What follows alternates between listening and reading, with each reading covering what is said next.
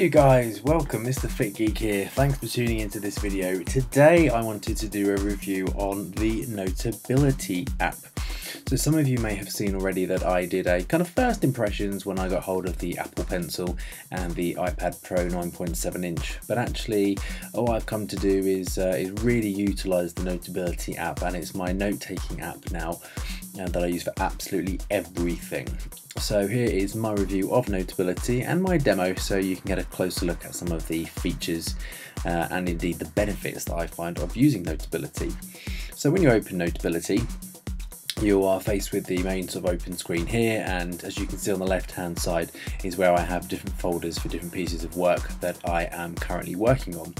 Now what you're able to do is actually create folders and then subfolders and then notes within each of those and really easy so you just simply click on the plus icon at the top there and then you create your divider.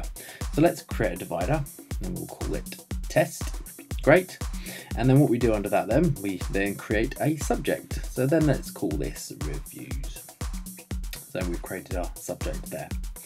Then when we highlight our subject, what it does, it opens the pane here on the right hand side, which then gives us access to actually then creating the notes themselves. You'll see at the option, you see at the top here, you've got three options. You've got the magnifying glass, which is then where you can actually search for anything in your notes. This works really only when you type your notes out, so we can actually um, search for the the, the, the, typed notes opposed to the handwritten notes. Um, then you've got your import. Now this is actually where this interface is with popular um, sharing sites and, and, cloud sites such as Dropbox, Google Drive, Box, and then WebDAV as well. Um, I use this with Dropbox. Um, I use it an awful lot with my work. I also use it for my studies as well, as I actually study away from work. And um, it's, it's, it's a fantastic piece of kit. Then of course you've got where you actually do create your notes. So let's click into it here and actually look at doing some note creation. So you'll see at the top then, you've got your various options. You've got your text, you've got your pencil, you have your highlighter, your eraser, uh, oh, your eraser, your uh, scissors icon, which is like copy, paste, cut, highlight, uh, this kind of stuff. And then your hand icon where you can use it to adjust um, how you scroll up and down you then so you can actually use this to create um, recorded notes. It's actually recording it as we speak, so let's turn this off.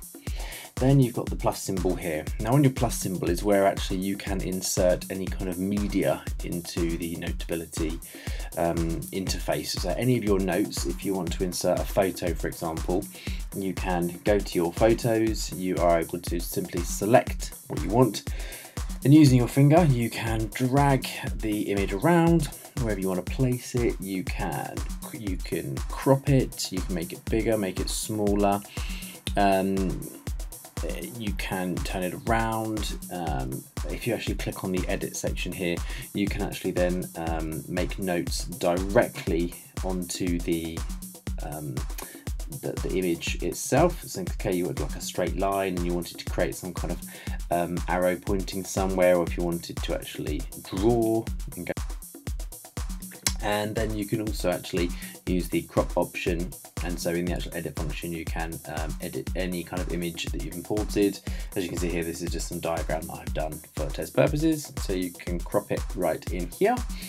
And if we've done that then perfect. Boom. We place it straight into your note. And again you can place it wherever you want it to go.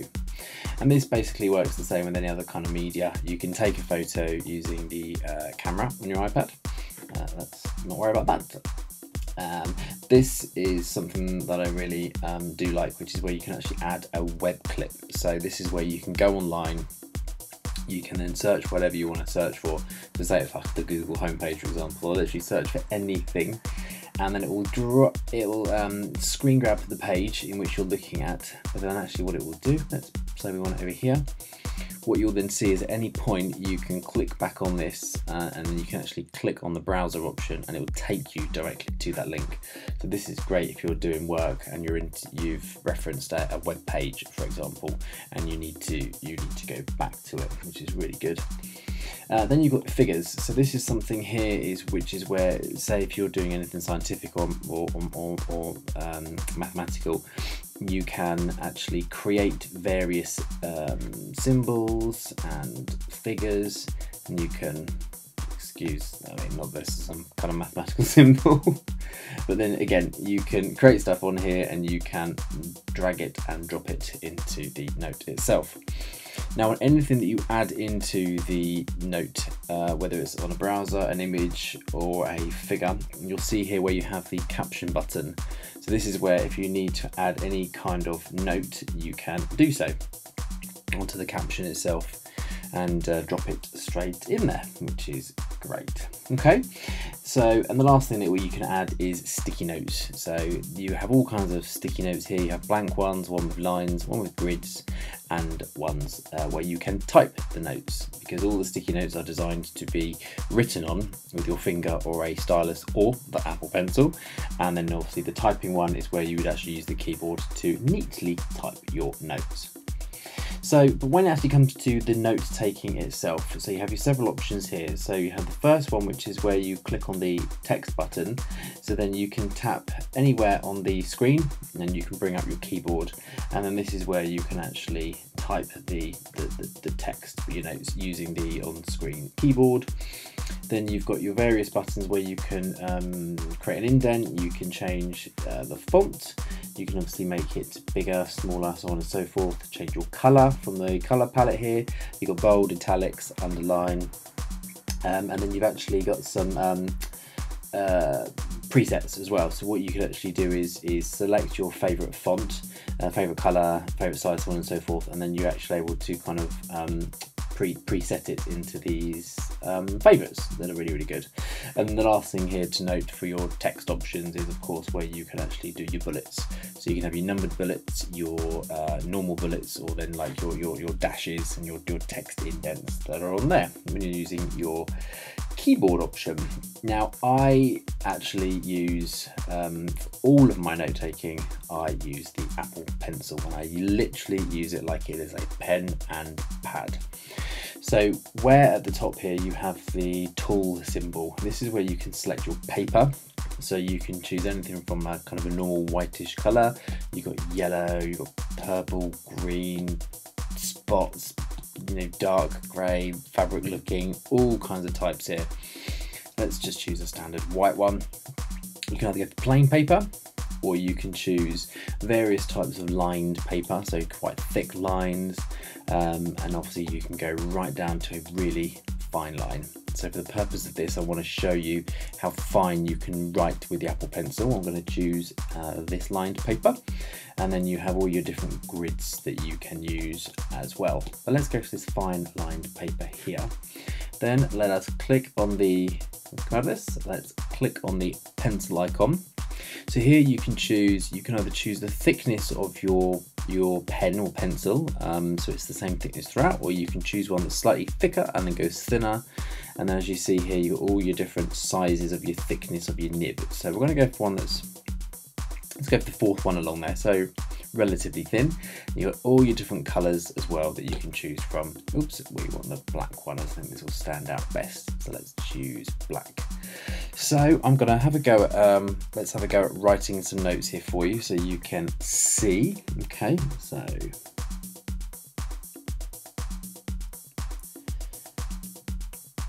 So actually this is quite um, thick, but what you can see is that this is a very fine um, fine line. So let's actually drop this down a touch here. There you go. So you can see a little bit thinner. Now what I love about this, and this is why this only works on the iPad Pro, and I'm writing this with the Apple Pencil, is that it has the palm rejection on it.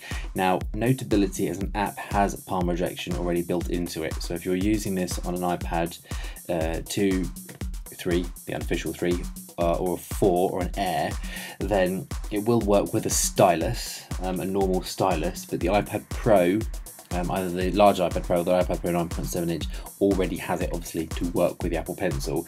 So it works just so much better on this. So I'm literally as I'm as I'm writing this I am resting my hand completely onto the onto the iPad.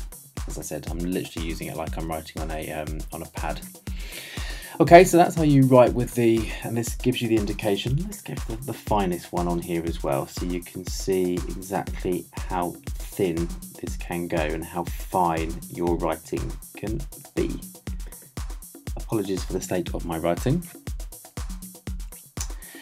Okay, then the next option along is your highlighter. So again, like with the pen, you've got different um, sizes of your highlighter and obviously different colours as well. So let's go for a nice green one. And then if we want to highlight anything on the text, we can we can do so. And again, you know, use the use the Apple Pencil, and it gives you that real control as to what you're writing. Then next one along, we have the eraser. So again, let's just get rid of all this good stuff that's on here. Da, da, da, and then it's gone. And then we have probably my favorite thing, which is the scissor icon. So this is where we can then select, um, we're able to select content and actually cut it or do other editing with it. So let's say I want to take, let's select the scissor and I want to take the I'm Jamie part and I want to put it somewhere else in the note. So I can draw a line around it, again, using the pencil. I can then choose to cut it. I want it to go over here, so I'm pasting it there.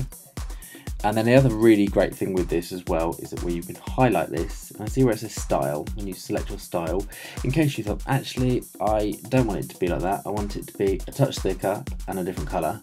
And you can then edit it um, right there and then um, into a different style as well. So really great if you were making some notes and you thought, oh gosh, I didn't want it to be that color, I didn't want it to be that thickness, I needed to be this one. You can go into it and then you're able to to edit it there.